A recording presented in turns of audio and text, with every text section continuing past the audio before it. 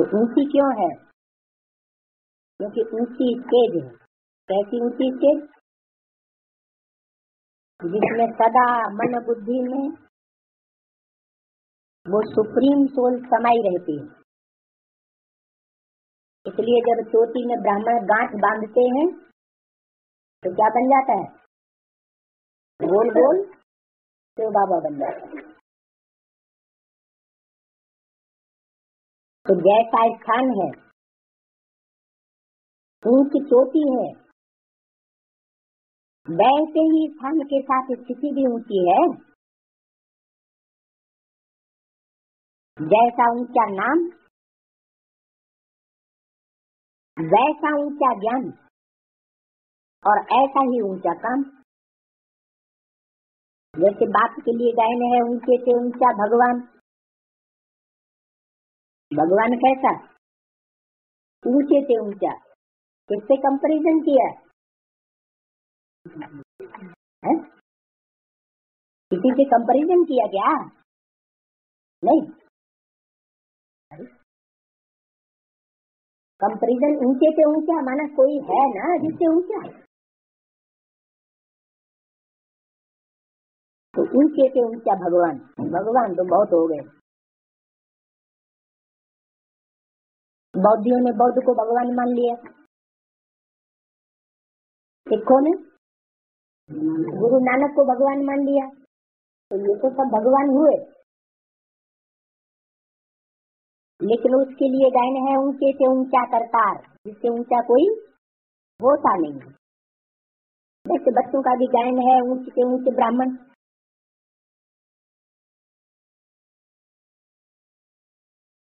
उनसे ऊंच ब्राह्मण कोई होता नहीं है।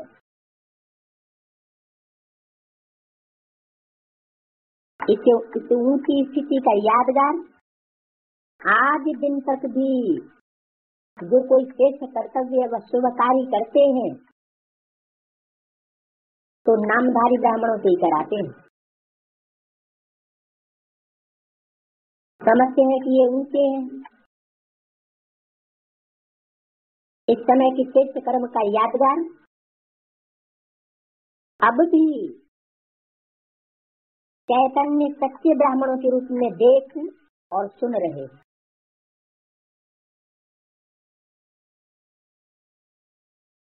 इस समय की श्रेष्ठ कर्म का यादगार। संगम युग सिर्फ़ संगम युग ही नहीं, सामान्य रूप से। लेकिन पुरुषोत्तम संगम युग पुरुष माना आत्मा उत्तम माना, श्रेष्ठ। मनुष्य आत्माओं में श्रेष्ठ पार्ट जिन्होंने बजाया उन पुरुषोत्तम के प्रत्यक्ष होने का युग है। तो ज़रूर कर्म भी ऊँचे होंगे। तो श्रेष्ठ कर्म का यादगार अभी भी देखते हैं और सुनते हैं। क्या बताया यादगार? कि कोई भी श्रेष्ठ कार्य करेंगे तो किससे कराएँगे? ब्राह्मणों से कराएँगे। तो संगम युग में कौन सा श्रेष्ठ कार्य किया ब्राह्मण बच्चों ने। बाप को प्रत्यक्ष करने का कार्य किया। तो उससे साबित हुआ कि बल तारीख नहीं दी गई है ओरिजिनल लेकिन ये कौन से वर्ष की मुरली होगी? अव्यक्तवाणी नहीं। प्रत्यक्षता वर्ष कब मनाया गया? सेवेंटी सिक्स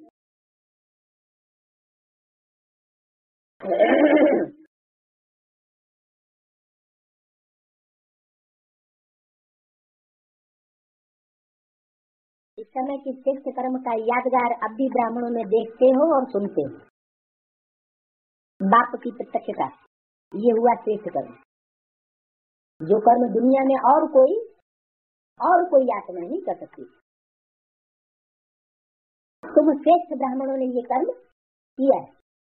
चोटी के ब्राह्मण ब्राह्मण चोटी। तो कौन हुए?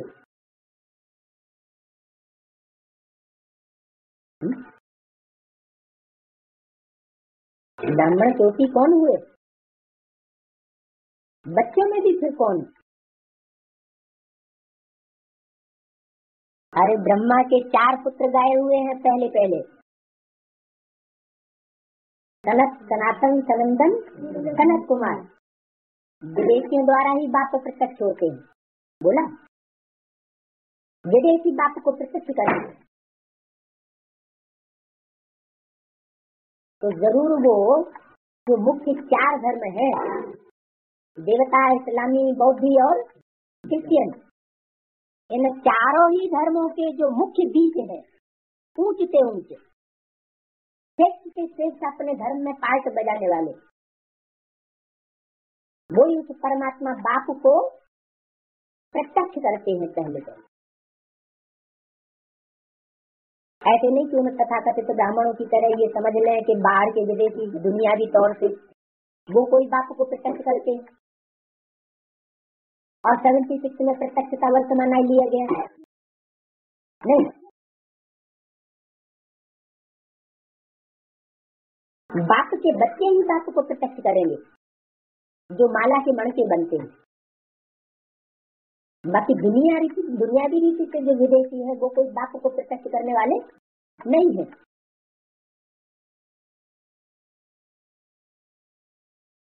तो अब श्रेष्ठ अर्थात हाइएस्ट आत्माओं का श्रेष्ठ प्रभाव।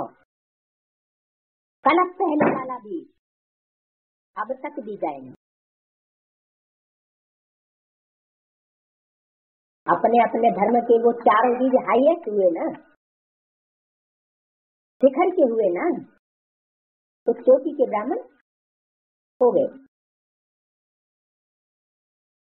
एक तरफ़ यादगार देख रहे हो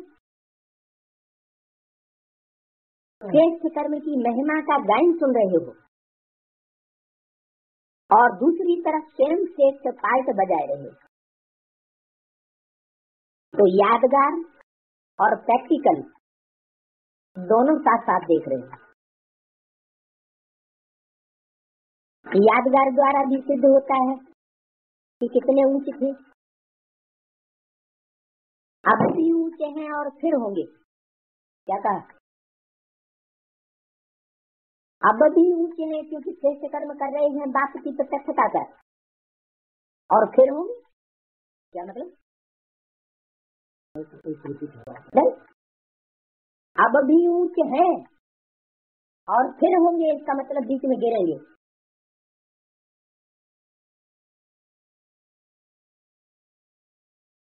विदेशियों के द्वारा बाप प्रत्यक्ष तो होता है, क्योंकि विदेशी पहले जान लेते हैं। विदेशियों का दिन छह बजे से शुरू होता है। रात्रि के बारह बजे से। और भारत में जब सूर्य निकल आता है, तब कुंभकर्णों की आँख खुलती है। भारतवासी कुंभकर्ण बाद में जागते हैं और विदेशियों का सवेरा जल्दी हो जाता है। वो पहले जाग जाते हैं।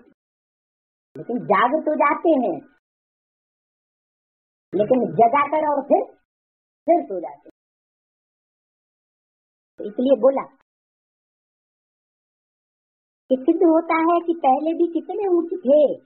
अभी ऊंच हैं और फिर होंगे। इसका मतलब अप्स एंड डाउन में आते हैं। हमें उन राहों पर चलना है, जहाँ गिरना और संभलना पीरियड है। हर युग में चढ़ती कला और फिर उतरती कला लगी हुई जैसे ब्राह्मण ऊँचे हो वैसे ब्राह्मणों का समय भी सब युगों में से सर्वश्रेष्ठ युग अर्थात समय है ये सब श्रेष्ठ स्थिति ब्राह्मणों की क्यों बनी क्योंकि ब्राह्मण ही ऊँचे के ऊँचे बाप के श्रेष्ठ कर्तव्य में सहयोगी बनने का श्रेष्ठ भाग्य प्राप्त करते हैं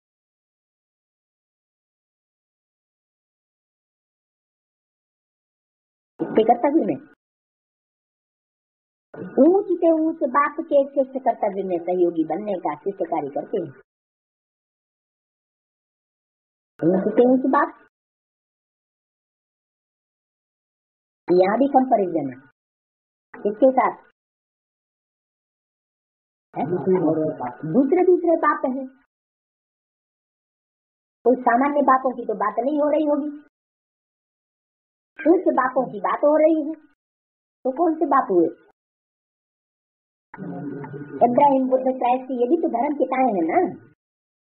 लेकिन इन बापों का भी जो बाप है उस तो बाप की प्रत्यक्षता में सहयोगी बनने का उद्देश्य करना श्रेष्ठ भाग्य। इतना अपना श्रेष्ठ पार्ट, श्रेष्ठ समय, श्रेष्ठ गायन श्रेष्ठ कर्तव्य और श्रेष्ठ स्टेज और श्रेष्ठ स्थान। क्या कहा? प्रत्यक्षता का स्थान भी कौन सा? श्रेष्ठ कैसे वो कौन सा? माउंट आबू प्रत्यक्षता का स्थान माउंट आबू नहीं। बताया है। एक तरफ़ हाहाकार और दूसरी तरफ़ जय जयकार होगी। जब प्रत्यक्षता होगी तो जो आदमी हुआ तो सब अंत में होता है यज्ञ के आदमी भी ऐसे हुआ था। स्थापना के साथ साथ यज्ञ कुंड से विनाश ज्वाला भी प्रज्वलित हुई। तो इतना श्रेष्ठ भाग्य सारे कल्प के अंदर फिर प्राप्त नहीं कर सकेंगे। क्या कहा? क्योंकि कोई भी धर्म की स्थापना में धक्के खाने पड़ते हैं। और शुरू वालों को ज़्यादा धक्के खाने पड़ते हैं या बाद वालों को? पहले पहले जो कदम बढ़ाते हैं, वो बहुत थोड़े होते हैं। यज्ञ के स्थापना के कार्य में, शुरुआत में जिन्होंने चावल दंपति भी दिया, उनका बहुत ऊँचा भाग्य बन जाता है। क्योंकि बहुत कड़े समय पर वो कार्य करते हैं। ऐसे समय पर और कोई ऐसा कार्य करने की हिम्मत नहीं कर सकता, समाज के साथ मुकाबला करना।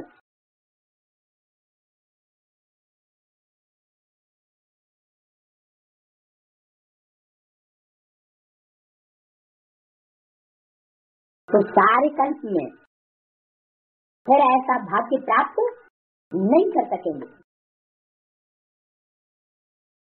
ऐसे हाईएस्ट और साथ साथ होली एस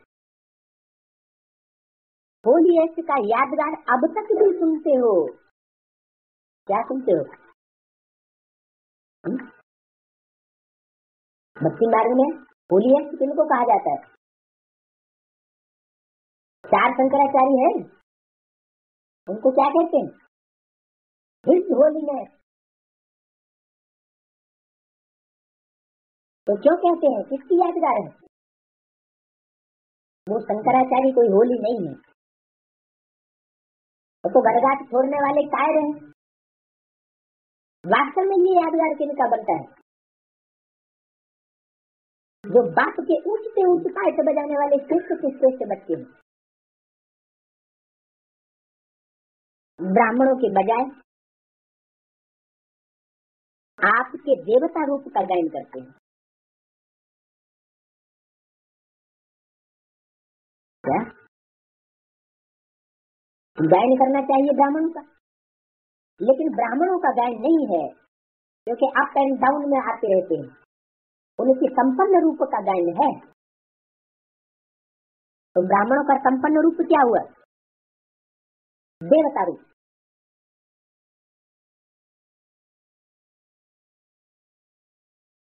होलियस का कौन सा गायन है? कमल नयन। हस्त कमल मुख कमल के रूप में अब तक डिज़ाइन करते रहते हैं। तो अब प्रैक्टिकल में चेक करो? कि हर कर्मेंद्रिय कमल समान न्यारी बनी है।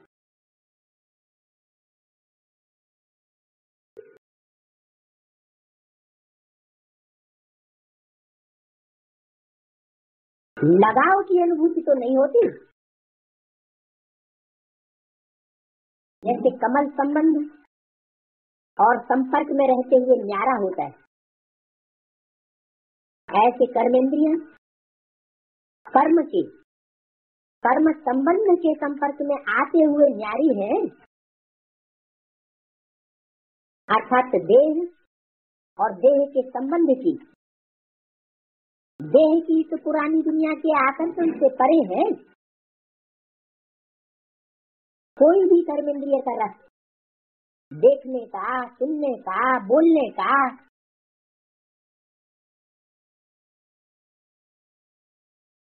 अपने वशीभूत तो नहीं बना पाते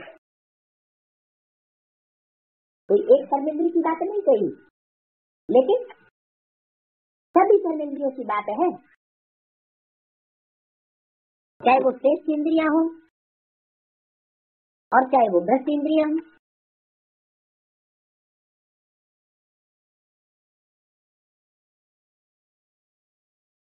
वशीभूत होना अर्थात होलिए से भूत बन जाना।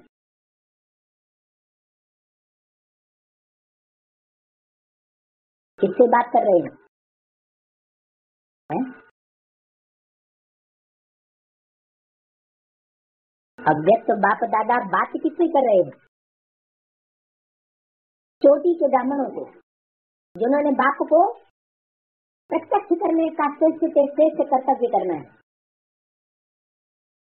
ये पाठ की वाणी है।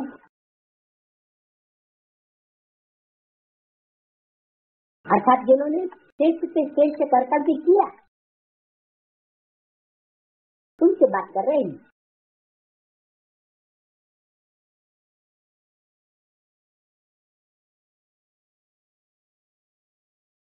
तो अगर वसीभूत होते तो होली से क्या बन जाते? हैं? भगवान से क्या बन जाते हैं? होली से तो भगवान ही होता है। एवर केयर कौन होता है? भगवान होता है। तो भगवान से क्या बन जाते हैं? भूत बन जाते हैं। का मतलब जिन चोटी के ब्राह्मणों से बात करते हैं, उनमें तो कोई ऐसे भी हैं। जो रात्रि के बारह बजे जब पहचान लेते हैं कि ज्ञान सूर्य उदय हो चुका और जाग जाते हैं और जगाते हैं तो उस श्रेष्ठ कर्तव्य के कारण हाइएस्ट यादगार उनका उनका बनता है और जब सो जाते हैं तो तो तो मतलब भूत बन जाते हैं जब भूत बन जाते हैं तो भूतों का कर्तव्य है दुखी होना और दुखी करना। उस समय वो बाप से बिछड़े हुए होंगे, या संबंध जुटा हुआ होगा। जिनका बाप से संबंध जुटा हुआ होता है, वो तो दूसरों को सुख ही देते। हैं हाईएस्ट ब्राह्मण के सूत्र बन जाते। इसलिए सदैव ये स्मृति में रखो कि मैं होलीएस्ट और हाईएस्ट जब ये प्रत्यक्ष रूप में, अर्थात संकल्प और स्वरूप में स्मृति में रहेगा, तब ही प्रत्यक्षतावंत मनाए सकेंगे।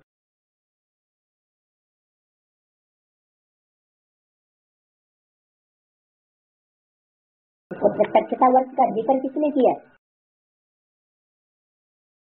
अव्यक्त बाप दादा ने स्वयं इसका ज़िक्र किया कि ये है सेवेंटी सिक्स प्रत्यक्षता वर्ष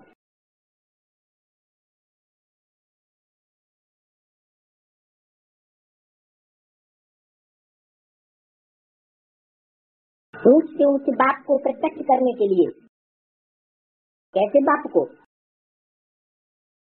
ऊंच से ऊंच बाप को। ऊंच से ऊंच और नीच से नीच कहाँ होते हैं? मूल वतन में? या सूक्ष्म वतन में या साकार वतन में? साकार वतन की ही बात है। सुप्रीम सोल ज्योति बिंदु न कभी ऊंच बनता है और न कभी नीच बनता है। हाँ वो जिसमें प्रवेश करता है, वो ऊंच से ऊंच भी बनता है और नीच से नीच भी बनता है।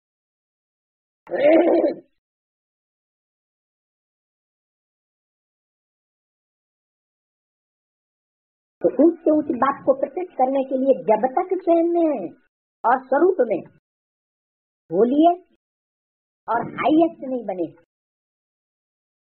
तो बाप को प्रत्यक्ष कैसे करेंगे?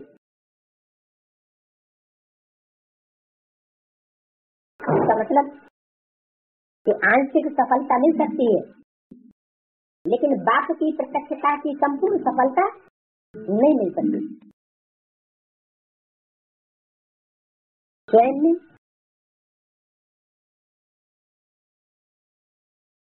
बाप समान गुण और कर्तव्य को प्रख्यात करना ही बाप का नाम प्रत्यक्ष करना है।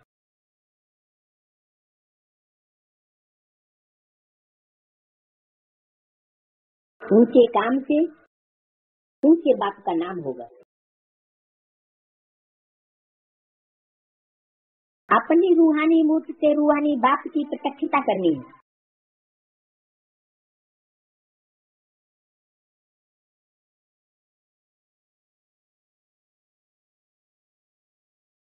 ज्ञान के ढोल बजाने से नहीं प्रत्यक्षता होगी।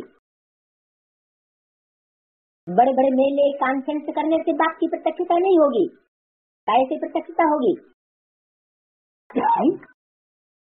अपनी रूहानी मूर्त प्रत्यक्ष करने से ही बाप की प्रत्यक्षता होगी। जैसे धर्म पिताओं की प्रत्यक्षता कैसे हुई? उन धर्म पिताओं की प्रत्यक्षता की मूर्त कैसी है? जो चित्रों में आज भी दिखाई जाती है। निराकारी स्टेज में दिखाए जाते है।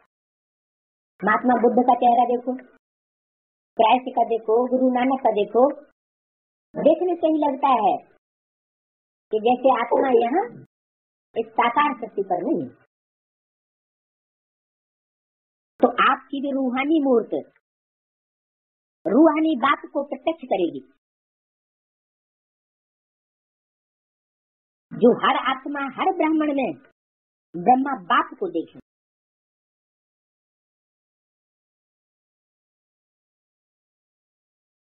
रचना अपने रचयता को दिखाए। पहले तो जो पहली पहली रचना होगी बाप की, वो अपने बाप को प्रत्यक्ष करेगी। तो पहले उसी की रचना कौन हुई?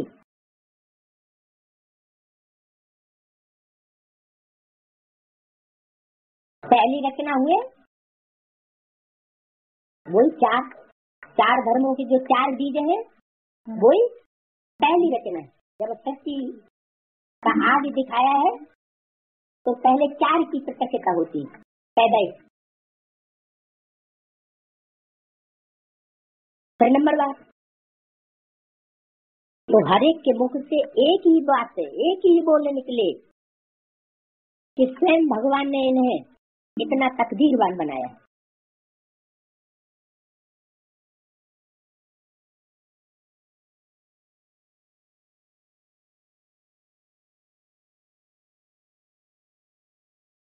माना उन चार मुख्य धर्मों के जो चार बीज हैं, उनको तकदीरवान बनाने वाला कौन? स्वयं स्वयं बाप। दूसरा कोई नहीं, क्योंकि वो डायरेक्ट बाप की संतान है।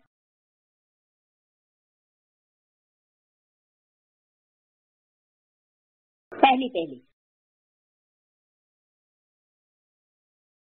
हर एक की तकदीर। बाप दादा की तस्वीर प्रसिद्ध करे।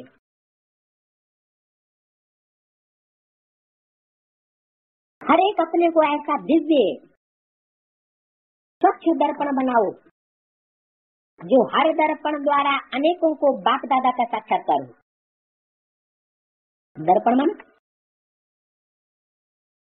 ज्ञान का शीशा जिसमें अपना भी चेहरा दिखाई पड़े। और दूसरे भी उस दर्पण में अपना चेहरा देख सके अपने पार्ट को पहचान सके उस दर, ज्ञान दर्पण में। कि हम किस धर्म के हैं किस देश विशेष में पार्ट बजाने वाले हैं और कौन सा समय विशेष है जहाँ हमको विशेष विशेष पार्ट बजाना वो सब ज्ञान दर्पण में दिखाई दे।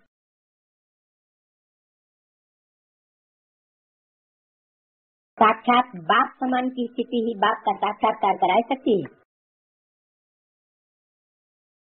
प्रत्यक्ष का वर्ष मनाना, अर्थात स्वयं को बाप समान बनाना।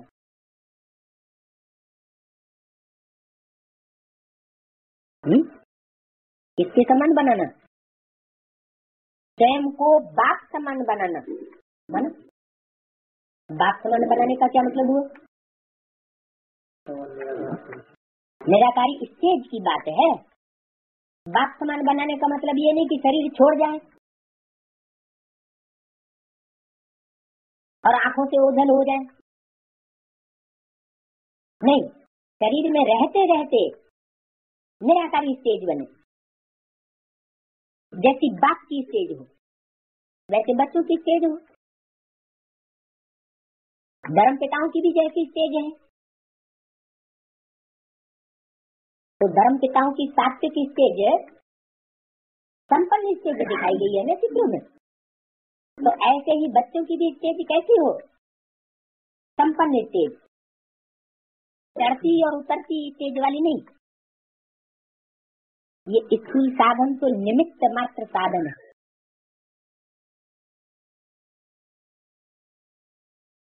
सदाकाल का साधन तो स्वयं सिद्धि स्वरूप बनने का है।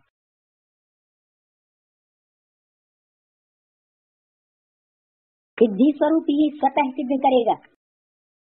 कि ऐसा ऊँचा बनाने वाला ऊंचते ऊंच भगवान है।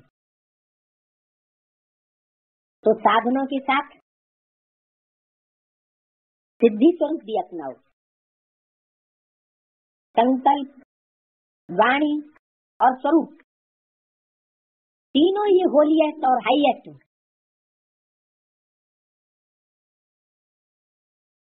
ऐसी स्टेज से ही बाप को प्रत्यक्ष कर सकेंगे। बाप दादा बच्चों का उमंग, उत्साह, श्रेष्ठ संकल्प, मेहनत और लगन देख हर्षित भी होते हैं। लेकिन आगे के लिए, सहयोग देने के लिए प्लान बताए रहे।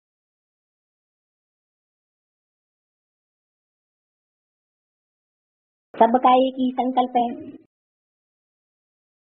एक संकल्प में महान शक्ति है। एक रस स्थिति में स्थित हो, इस एक संकल्प को स्वरूप में लाओ। कल्प कल्प के विजय की तकदीर और उस तकदीर की तस्वीर का तो अब भी रहने है। पहले पेज का मन हम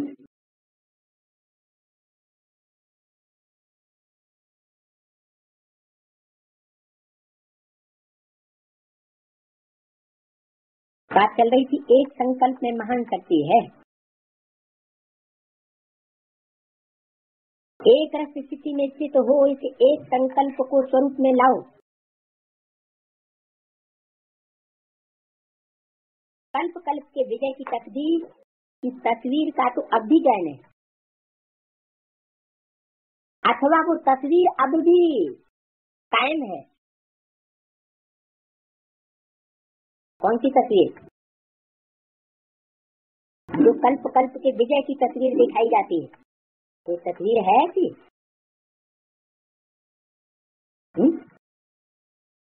भक्ति मार्ग के चित्रों में ऐसी कोई तस्वीर दिखाई जाती है? नहीं। अरे राजगद्दी की कोई तस्वीर दिखाई जाती है? हाँ कहते हैं जब विजय दशहरा पूरा हुआ तो दीपावली पर उनको राजगद्दी मिली। और राजगद्दी में किसका चित्र दिखाया गया? सतराम सीता का। एक भाई का ही चित्र दिखाया है क्या? चारों भाइयों का चित्र दिखाया तो वो तकदीर की तस्वीर बन गई। जिन्होंने कर्मेंद्रियों को कंट्रोल करने का प्रैक्टिस किया, पक्का। वो छत्रधारी बन गए। और जिन्होंने प्रैक्टिस नहीं की, और एक संकल्प में नहीं रहे संकल्प में भेद पैदा कर दिया, वाचा में भेद पैदा कर दिया। तो उनको चवर डुलाना पड़ा। एक दास दासी के रूप में भाइयों को क्यों दिखाया गया?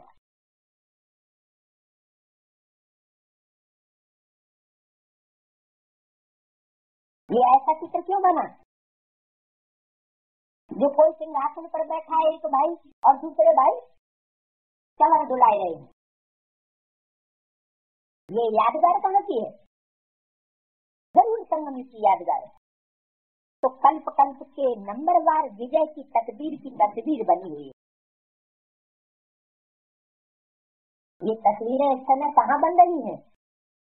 ब्राह्मणों की संगमी की दुनिया में ये तस्वीरें तैयार हो रही अच्छा। ऐसे अपने तकदीर द्वारा बाप दादा की तस्वीर दिखाने वाले सदा कमल के समान अल्पकाल के आकर्षण से परे रहने वाले। बाप समान होलिय और हाइयर समान में स्थित रहने वाले। हर आत्मा में बाप के स्नेह को, स्वरूप को और संबंध को प्रत्यक्ष करने वाले। ऐसे सर्वश्रेष्ठ ऊंच ऊँचे ब्राह्मणों को।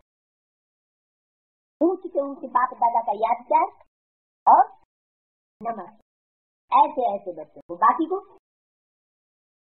बाकी को नमन नहीं करते। यादगार भी नहीं देते। दूसरा पेज। दादियों से।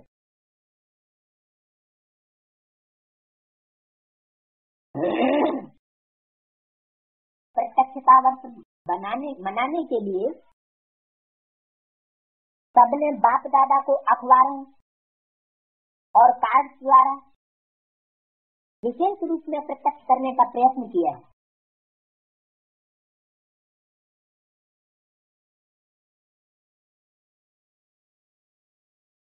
कौन से वर्ष में? की बात है। ये भी सेवा का साधन आवश्यक है। लेकिन ये अखबार व कार्ड, उस दिन देखा, पढ़ा व सुना फिर स्मृति समा जाती है। समाप्त तो नहीं कहेंगे, क्योंकि समय पर यही स्मृति, जो अब समा गई। वो स्वरूप में आएगी।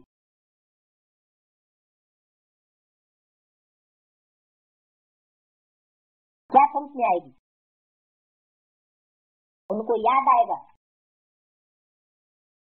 इस चैप्टर में कोई कार्ड बांटा गया था। वो कार्ड बाप की प्रत्यक्षता का ही कार्ड था। और फिर वो स्वरूप में आएगा। इसलिए समाप्त नहीं कहेंगे। कार्ड की सेवा से, अखबारों की सेवा से जो स्मृति कायम हुई, उसे समाप्त नहीं कहेंगे। लेकिन समा गई कहेंगे। इससे भी धरनी में थोड़ा बहुत स्नेह का परिचय का बीज पड़ गया। लेकिन इस बीज से प्रत्यक्षता का फल कैसे निकलेगा पानी तो डाला। इसलिए डाला। फल के लिए। वो फल कैसे निकलेगा? अर्थात संकल्प प्रैक्टिकल स्वरूप में कैसे आएगा? उसके लिए सदैव कार्ड तो नहीं छपाते रहेंगे। आजकल मेजॉरिटी आत्माओं की इच्छा क्या है? सुख शांति के प्राप्ति की इच्छा तो है। लेकिन विशेष जो भक्त आत्माएँ हैं उन्हों की इच्छा क्या है? मेजॉरिटी भक्तों की इच्छा सिर्फ़ एक सेकंड के लिए लाइफ देखने की है।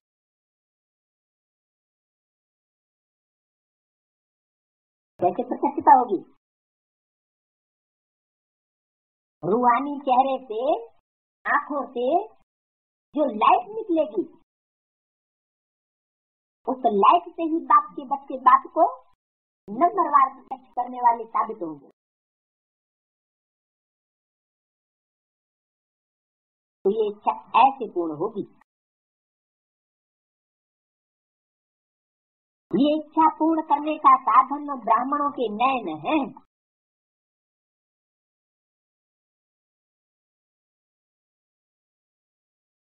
इन नैनों द्वारा बाप के ज्योति स्वरूप का साक्षात्कार हो जाए।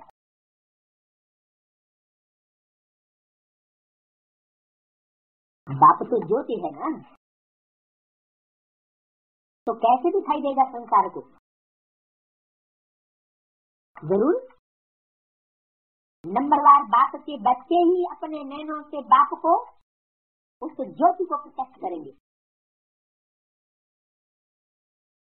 जो यादगार में दिखाया है। कि अर्जुन ने क्या कहा? बस बस। अब सहन सहन नहीं होता। इसलिए मुरली ने बोल दिया पहले से।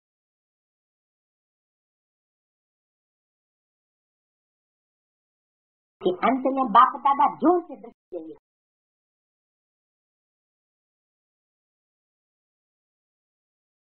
जो तुम खड़े भी न रह सके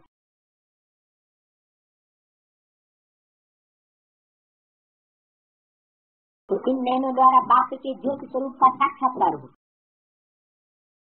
ये नयन नयन नहीं दिखाई देंगे, लेकिन लाइट का गोला दिखाई देंगे।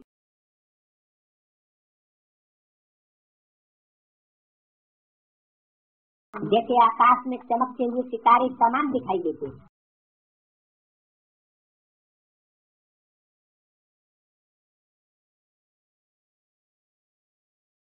वैसे ही आँखों के तारे, सितारे सितारे के समान चमकते हुए दिखाई देते लेकिन वो तब देखेंगे जब स्वयं लाइट स्वरूप में स्थित हो कर्म में भी लाइट अर्थात हल्कापन और स्वरूप भी लाइट और स्टेज भी लाइट है। जब ऐसा पुरुषार्थ का स्मृति स्वरूप विशेष आत्माओं का रहेगा, सबका नहीं रहेगा इसका विशेष आत्माओं का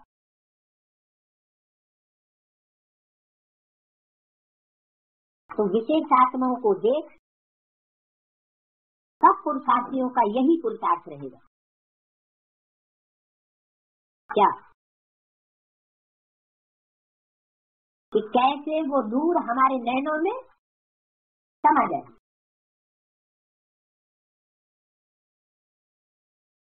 बार बार कर्म करते हुए चेक करो कि कर्म में भी लाइट अर्थात हल्कापन है। क्या? जो भी कर्म इंद्रिय से, जो भी कर्म करते हो सिर्फ़ इंद्रियों से करते हो। इंद्रिया तो है ना। तो जो भी कर्म करते हो, एक कर्म का नाम नहीं बताया। लेकिन उस कर्म में हल्कापन है। थकान तो नहीं हो गई। आसक्ति तो महसूस नहीं होती। भारीपन तो महसूस नहीं होता।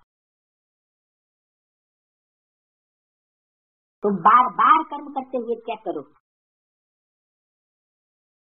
कि कर्म में लाइट अर्थात हल्कापन है, बोझ तो नहीं है। कर्म का बोझ अपनी तरफ़ खींचेगा।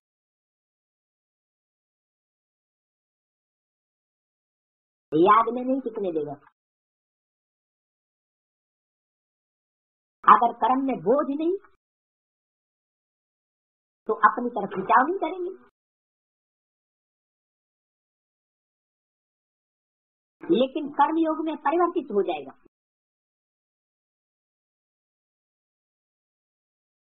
क्या? कर्म का भोग तो प्रत्यक्षतावर्त मनाने का स्वरूप और गायन यही सबकी बुद्धि में है ना?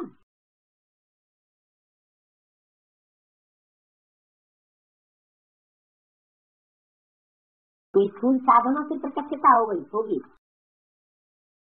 बड़े बड़े मेले कर लो बड़े बड़े कॉन्फ्रेंसेस कर लो बड़े बड़े म्यूज़ियम खोल दो। इनसे प्रत्यक्षता होगी या स्वयं के पुरुषार्थ से प्रत्यक्षता होगी। फिर किया क्या आप तक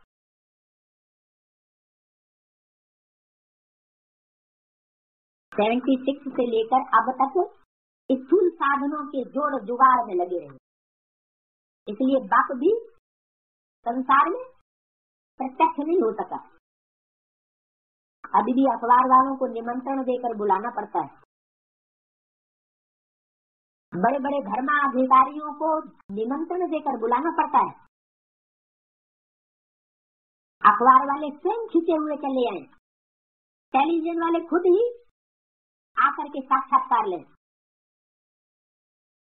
और अखबारों के पेज भर जाए ज्ञान की बातों से। मुख्य संसार में सेवा का कार्य करें। हमें उनसे कहना न पड़े, पैसा न देना पड़े। तो ये भी होगा, लेकिन कब होगा? जब? जब हमारे नैनों में वो सितारा समा जाएगा।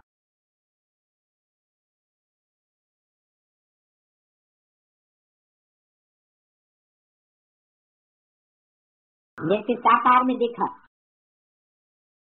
कि जितना ही अति कर्म में आना शिव बाबा का साकार स्वरूप कौन सा हुआ? एक है साकारी पार्ट और एक है शरीर में रहते हुए भी अव्यक्त पार्ट व्यक्त नहीं है। माना कोई इन आँखों से देखना चाहे उस पार्ट को तो नहीं देख सकता। है तो साकार, यानी शरीर से ही। लेकिन शरीर में होते हुए भी इस देह और देह की दुनिया और देह के धंधों से परे स्टेज में रहने वाला पार्ट वो इन आँखों से नहीं दिखाई दे सकता। तो यहाँ साकार की बात कही मन? दादा लेखराज ब्रह्मा की संग से जो पार्ट बजाया, माता के रूप में, माता होती है साकार, और बाप होता है बीज।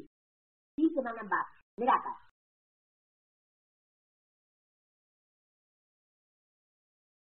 तो जैसे साकार में देखा कि जितना ही अतिक्रम में आना, विस्तार में जाना रमणीकता में आना, संबंध और संपर्क में आना, उतना ही अभी अभी संबंध संपर्क में और अभी अभी न्यारा जैसे संबंध करे में आना सहज, वैसे न्यारा होना सहज। तो अब ऐसी प्रैक्टिस बच्चों की भी चाहिए। अति के समय एक सेकंड में अति का अंत हो जाए।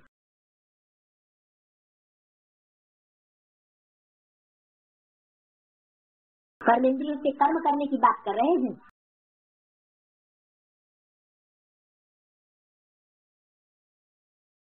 अभी अभी अति और अभी अभी अंत ये है लास्ट वक्त का लास्ट स्टेज का पुरुषार्थ।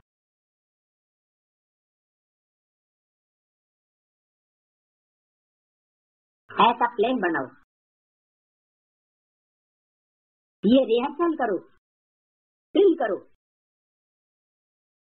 ड्रिल में क्या करते हैं? वो स्कूल ड्रिल करते हैं तो उसमें क्या करते हैं?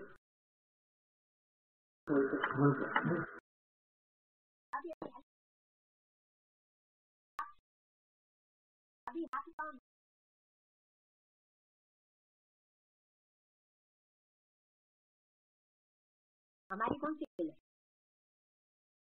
तो जिसमानी ड्रिल नहीं है हमारी ड्रिल है मन बुद्धि की अभी अभी साकारी अभी अभी आकारी अभी अभी मेरा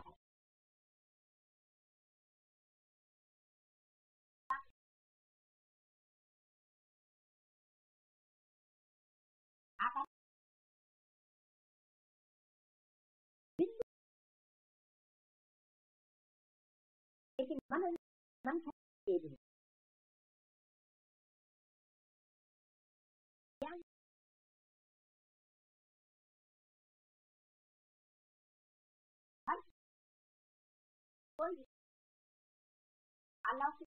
का भी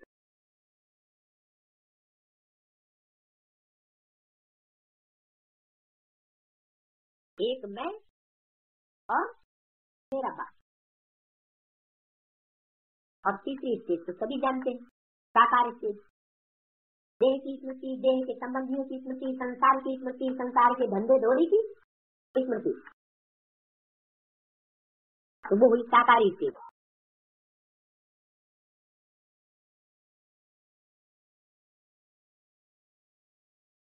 अति और अंत की ड्रिल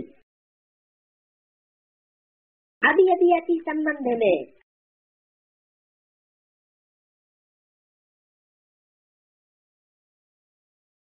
संबंध साकार में होता है कि आकार में या निराकार में? साकार में ही संबंध जुटता है। सम्मान? समान और सम्मान संपूर्ण भी, और बंध माना बंधन। समान रूप से संपूर्ण बंधन। उसे कहते हैं इंद्रियों से संबंध जोड़ना। इंद्रियों से ही संबंध जुड़ता है। वरना संबंध? संबंध नहीं जुड़ता चाहे आँख हो, चाहे कान हो, चाहे कोई भी इंद्रिय हो।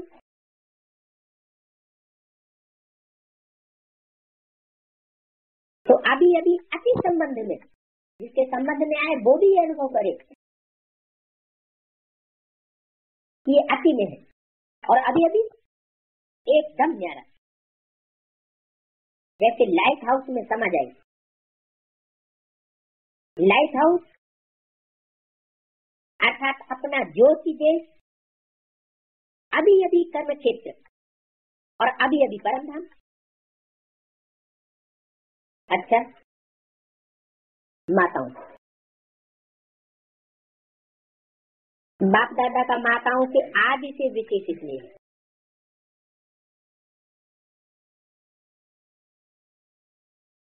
किससे विशेष इसलिए है? माताओं से। पिताओं ने क्या गुनाह किया? कोई गुनाह किया होगा क्या? हाँ? जो हिंसा का हिंसा का चित्र दिखाया है प्रदर्शनी अंक में। उसमें एक तरफ़ माला दिखाई गई और दूसरी तरफ़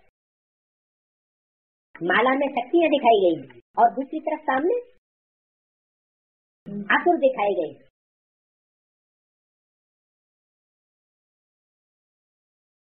और बाबा उंगली की तरफ़ उनकी तरफ़ इशारा कर रहे हैं।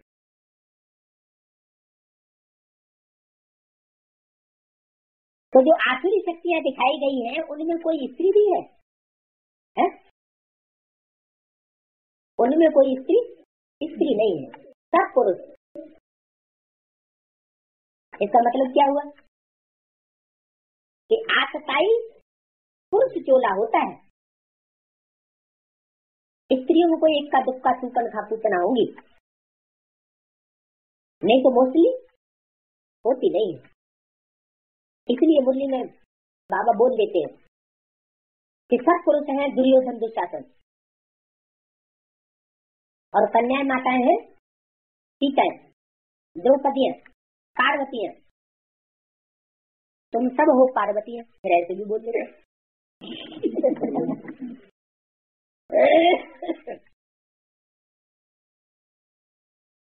आत्मिक रूप में तो सब पार्वती है ही।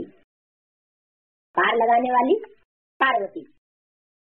कब बने जब आत्मिक स्वरूप में स्थित हो।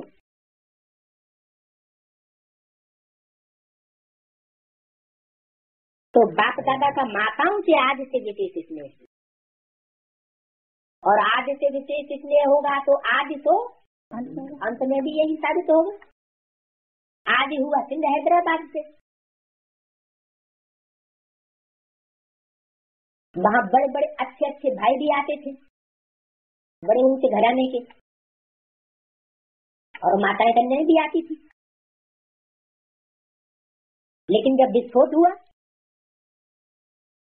तो भाई सब सब भाग गए।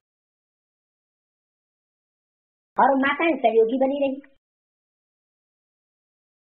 जो आज में हुआ वो सब अंत में जब एडवांस पार्टी शुरू होती है। चालीस वर्ष का संगम पूरा होता है। शक्ति की शूटिंग का कार्य पूरा हुआ। तो आदि तो अंत के मुताबिक फिर वही ड्रामा हु बहु रिपीटिशन क्या? कि माताएँ भी सहयोगी बनती हैं। और भाई भी सहयोगी बनते हैं ऊँचे से ऊँचे पाठ बजाने वाले भाई भी प्रत्यक्ष सहयोगी बनते हैं। जिनका अभी वाणी में ज़िक्र किया चोटी के ब्राह्मण। वो आदमी भी थे। और वो फिर अंत में भी होते गायब हो जाते। आदि तो जिसने आदि किया उसने अंत किया। और जिसने अंत किया, उसने सब कुछ किया।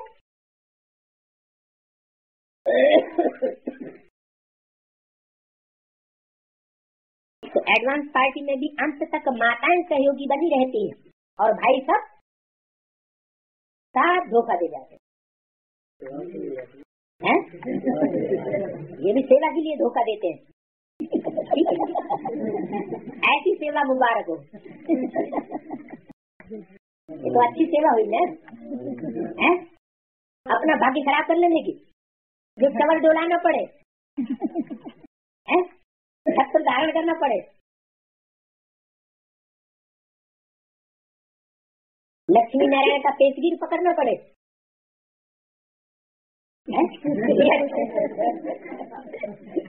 ये अच्छी सेवा हुई क्या? चलो, औरों के लिए तो अच्छी हुई।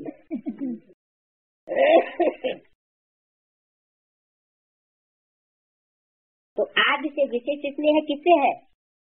माताओं से। ज़्यादा सहन भी कौन करती है? माताएँ। यज्ञ की स्थापना में भी विशेष किसका पार्ट रहा? आज की बात बताइए। ज्ञान यज्ञ जब शुरू हुआ केंद्र हैदराबाद से तो वहाँ भी माताओं का विशेष पार्ट रहा। स्थापना में भी भी शब्द क्यों लगा दिया इसका मतलब स्थापना में भी रहा विशेष पार्ट तो जब ज्ञान यज्ञ की अंतिम आहुति होती है, समापन समारोह तो उसमें भी माताओं का विशेष विशेष पार्ट रहा। आज में भी निमित्त कौन बने?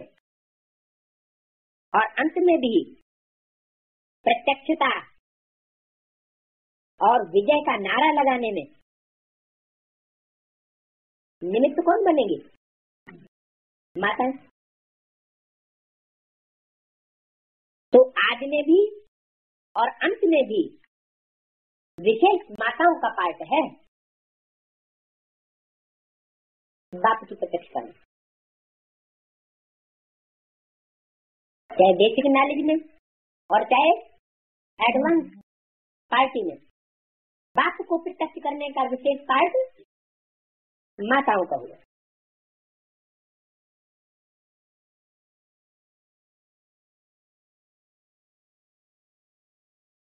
संक्षत्र की स्थापना और विनाश की घोषणा की गई थी। छठ में। दस वर्ष में पुरानी दुनिया का विनाश और नई दुनिया की स्थापना होगी। तो एक तरफ़ हाहाकार और दूसरी तरफ़ जय जयकार होगी।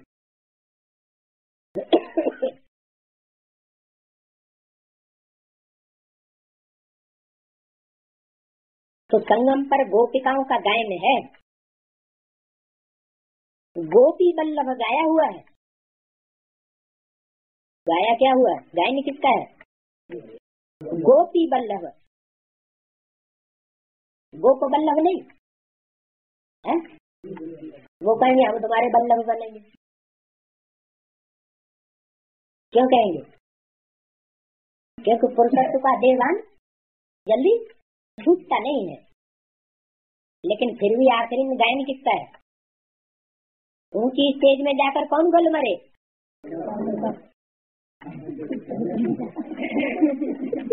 शक्तियों के लिए नहीं दिखाया। शक्तियाँ इतनी ऊँची स्टेज में नहीं जा सकी। जब पहाड़ों पे गए तो पहले पहले कौन? पहले कौन धराशायी हुआ द्रौपदी। और पांडव चढ़ते चले गए। लास्ट में कौन पांडव बचा? युद्ध में स्थिर रहने वाला। युद्ध स्थिर जो धर्म युद्ध में स्थिर रहा और जो डोल गए, वो रह गए। तो नंबर वार स्टेज बताई गई है गन मरने की। लेकिन गोपी बल्लभ कौन गाया हुआ है? यहाँ पे सवाल ये है। गोपियाँ गोप मन गुप्त और गोपी माना गोपी माना भी गुप्त, वो स्त्रीलिंग और वो पुल्लिंग माना गुप्त संबंध तो परमात्मा के साथ दोनों ने जोड़ा। कन्या माताओं ने भी, गोपियों ने भी जोड़ा और और गोप ने भी जोड़ा। लेकिन निभाने की बात हुई कि बल्लभ के रूप में निभाने का कार्य कन्या माताओं ने विशेष किया। वो उस गुप्त संबंध के रहस्य को संसार के सामने, अज्ञानियों के सामने आउट उन्होंने नहीं होने दिया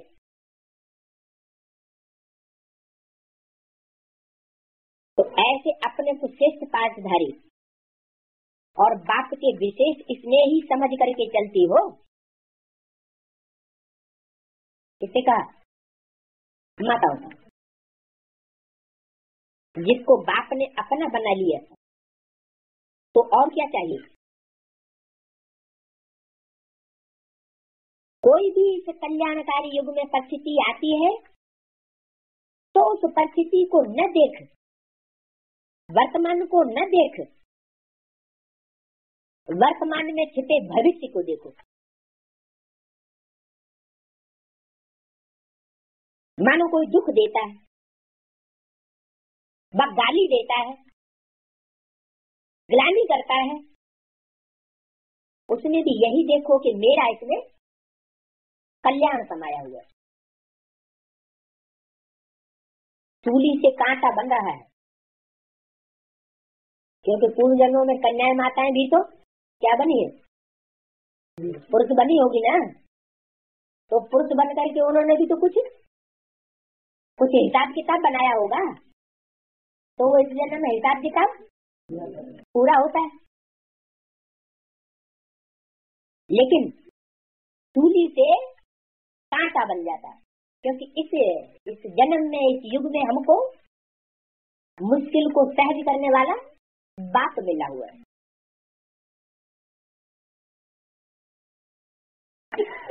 तो ये दुख अथवा गाली ही सुखदाता की याद के नज़दीक लाएगी। बाहर के रूप से न देखो, लेकिन कल्याण की भावना से देखो। कोई भी परिस्थिति परिस्थिति नहीं लगेगी। इससे अपनी अपनी उन्नति कर सकेंगे। अच्छा? ओम शांति